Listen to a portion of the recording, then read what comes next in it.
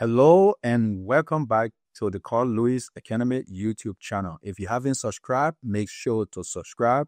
This is how you let the algorithm know so that other people who love this content or looking for content like what we have here can be able to see this content. So thank you very much for subscribing and always thank you for liking the video, sharing, and leaving comments down below. We sincerely do appreciate all of those things. Without further ado, let's go into today's video. So I'm taking a different direction on the channel.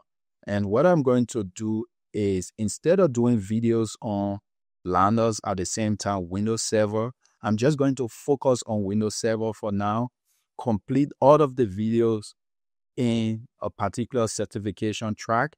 And once I'm done, then I can come to creating Linux video from start to end, and then maybe go to Azure video from start to end, Microsoft 365 from start to end, and so on and so forth.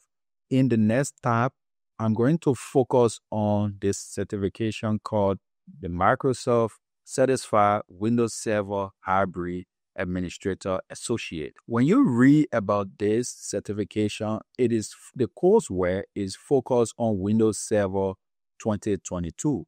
However, you are expected to already have experience with Server 2012 or Server 2016 or Server 2019.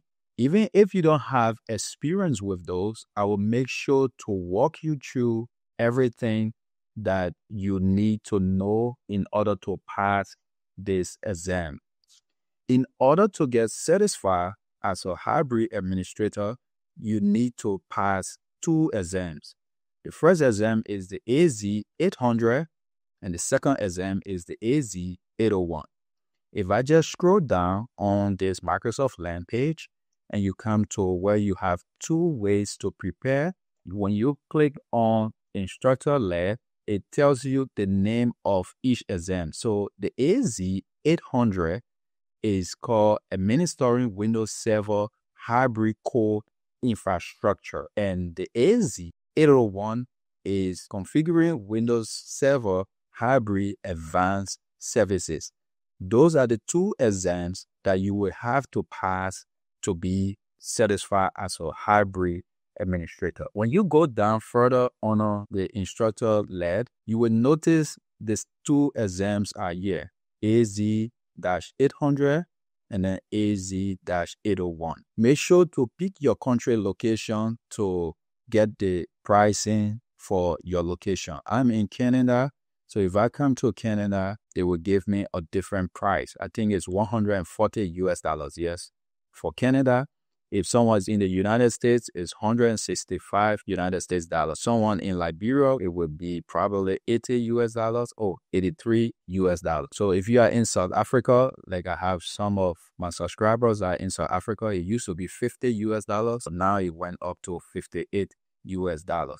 So just make sure to pick the country that you are in and then you can click on schedule exam. So what I will do in the next video is walk you through how you could schedule an exam. The next thing I want to do is to click on self-paced. So self-paced is the Microsoft learning path for this particular certification. So you will start first with deploy and manage identity infrastructure. So if you click on that topic, it's going to show me all of the modules. So it starts with an introduction to ADDS and then goes on to manage and then implement group policy and then manage more advanced features of ADDS and then goes down to implement identity with Windows Server, deploy Azure, IaaS, Active Directory Domain Controller in Azure. Then I will just click on back and then it goes to the next path and then to the next one and the next one and it shows you everything that you need to know. The next thing I would say is with the hybrid administrator, what it does, it teaches you both Windows Server on-prem as well as Windows Server in Microsoft Cloud, which is Azure, and how to synchronize the two environments. So this will give you the best of both worlds, the cloud experience as well as the on-prem experience. I know that they are prerequisite to for this course, right?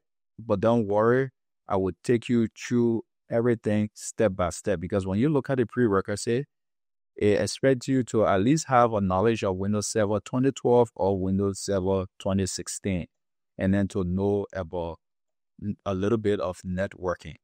So again, no worries.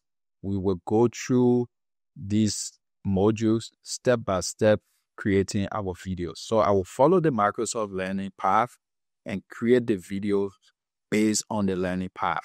So the videos and the learning path will go hand in hand. So you can use the learning path as a supplementary material for the videos that we will be making in this new playlist. Okay. So again, don't worry. You will go through everything step by step. Now, my responsibility is to share with you my knowledge and experience with Windows Server. And then it is your responsibility to practice and, and get some hands on experience on things that you'll be learning. So I highly recommend that you get yourself a laptop or even a desktop so that you can follow on and set up the labs and build all of the environment as you see in the video so that you can have hands-on experience. Whenever you encounter any problem during the lab, make sure to put a question under the particular video that you were following and doing the lab for. And that way we can be able to respond to it and share other resources uh, or just answer the question and give you some additional links and website that you can just go to and read more about that. Okay, so I will be following the Microsoft Learn. So I recommend that you log into Microsoft Learn and start to read as well and follow along the, vi- the video. So if I do a video on Active Directory domain services and talk about maybe the FSMO roles, I expect you to come to Microsoft Learn and come to this module and read about the face FSMO roles and understand what they are because we will talk about it in the video. So this will just reinforce what you have learned from the video. So to log into the Microsoft Learn, you need a Hotmail account or a .live account or you need an Outlook account pretty much you need a Microsoft account. So any Microsoft account, even your Xbox account, you can even use it to log in. So with that being said, that brings an end to this video. It's just an introduction to what we will be doing on the channel. Right now out there, Microsoft has released Windows Server 2025. Last year, I did some videos on it. Whatever knowledge you acquire from this set of videos on Windows Server 2022, all of those knowledge can be transferred to Windows Server 2025. Even though we'll be using Windows Server 2022 in this video, but I guarantee you probably 90% of everything you'll learn from here, they will still be applicable on Windows Server 2025. And even those knowledge are also applicable on Server 2019, Server 2016, and Server 2012. So you just need to learn one Windows Server very well, and you pretty much know how to use the rest of it, except for the new features that and those things you can just learn them in the blink of an eye. Okay, so without further ado, this brings an end to this video. Make sure to subscribe if you haven't subscribed yet. Make sure to like this video, leave a comment in the comment section down below. Share this video with someone who will find it useful but without further ado, I will see you in the very next video. Bye.